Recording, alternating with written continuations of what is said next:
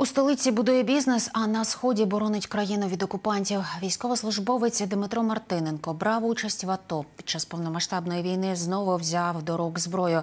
Зрідка приїздить додому. Тут у столиці власні заощадження вклав у кав'ярню Тихе місце. Бізнес, який вже приносить прибутки. Частину з них переказує на ЗСУ. Планує розбудовувати мережу закладів і навіть передати франшизу побратимам безоплатно. Побував у кав'ярні та поспілкувався із військовим та підприємцем наш Назар Войтенков. Особливість цієї столичної кав'ярні ця стіна зі світлинами військових. Тихе місце це бізнес від ветерана для ветеранів. А відкрив кав'ярню спецпризначенець сил спеціальних операцій.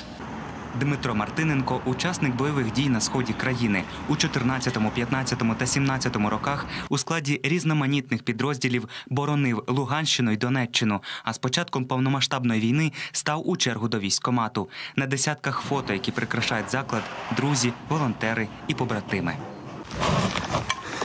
Коли повільніше, не доходять всі слова. Прийняв, прийом. Зв'язку з цілею не немає. Нам це серйозний бій. Вони просять підтримки. Як прийняли? не можна сказати недооцінювати ворога. І да, у них дуже багато непідготовлених бійців, але у них є регулярні війська, які працюють ефективно і професійно. У 2021 році Дмитру на думку спала ідея власної кав'ярні, щоб згодом після перемоги було легше повернутися до мирного життя. Завдяки преміям Дмитро зміг відкласти стартову суму. Перший заклад відкрив торік. Я вже трохи більше трьох років займаюся громадською організацією Київська спілка ветеранів Водоподільського району. У зв'язку з фінансовою потребою громадської організації нашої. е, Ми собі вирішили колективно створити е, якісь свої особисті бізнеси, різноманітні бізнеси, які самозабезпечували нашу громадську організацію. І один із видів бізнесу це кав'ярня тихе місце. Ідея в тому, щоб люди, котрі е, приїздили з бойових дій, приїздили сюди, і як символ тихого місця, ця кав'ярня буде е, давати спокій, давати. Ми будемо давати в наші посмішки смачну каву, і хоч трішки будемо підбадьорювати, підбадьорювати наших захисників.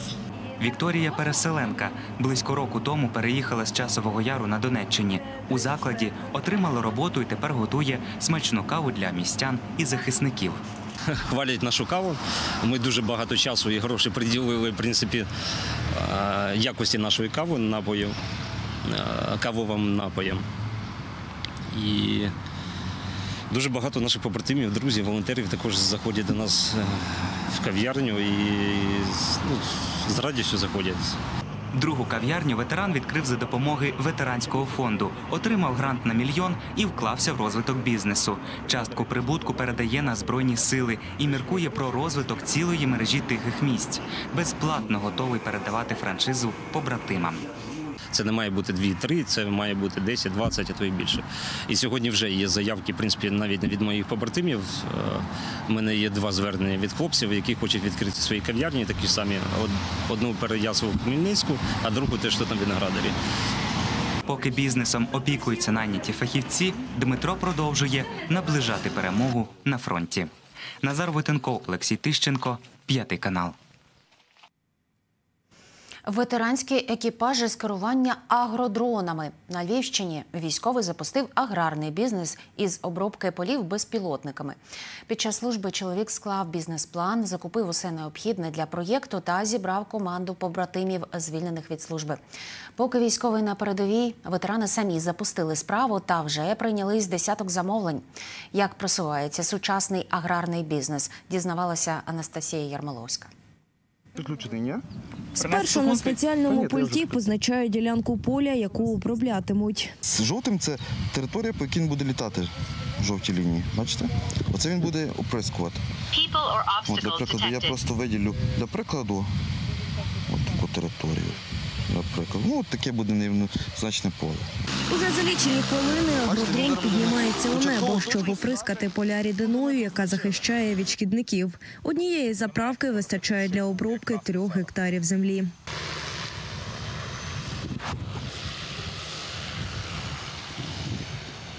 Перший екіпаж для обробки рослин сформував військовий Іван Павліш. Запустив бізнес-проєкт дистанційно, поки сам служить на сході. У його команді колишні побратими, які після служби повернулися до цивільного життя. Так співпало, що було три хлопці, які е, проходили службу в одному підрозділі, так які теж мали досвід е, саме аеророзвідки, і вони ну, склали досить е, лаконічне резюме, так змогли пояснити, чому саме їх така робота цікавить. Е, Вони географічно недалеко знаходяться в принципі від місця розташування господарства, і тому якби ці зорі склалися. Іван Павліш має власне фермерське господарство, е, тому розуміє необхідність захисту е, посівів.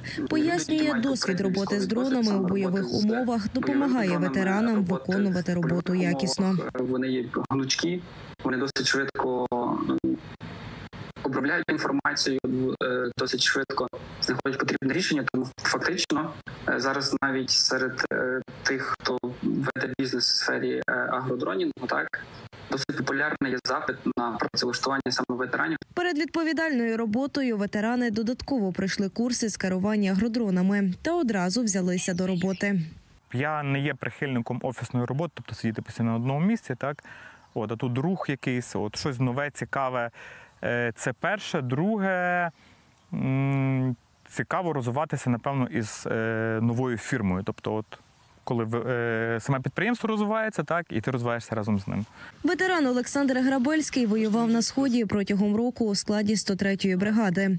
Згодом був звільнений за сімейними обставинами. Про пережити на передовій чоловіку говорити важко. каже, намагається згадувати позитивні моменти, що допомагає не занепадати духом. То бабця, от в якої ми проживали в Донецькій області, вона до нас відносилася як до своїх дітей. Вона нам їсти готувала, е, прибирала там в нас, от, де ми е, жили.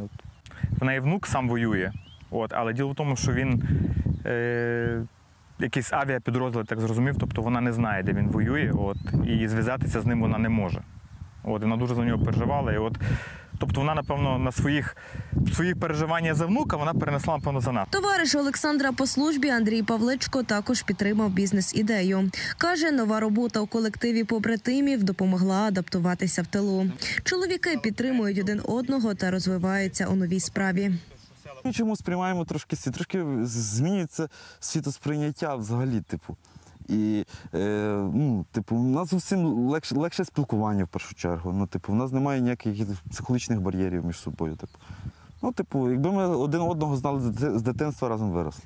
За два місяці від старту проєкту чоловіки обробили понад десяток полів. Тепер готуються до найгарячішого посівного сезону. В подальшому засновник бізнесу планує розширити агродронну справу. В екіпажі набиратиме виключно ветеранів війни. Анастасія Ярмоловська, Євген Радіон, Львів, п'ятий канал. Під час війни купили сільські хати і взялися за їхню реставрацію. На таке наважилася Ганна Гаврилів. Вона разом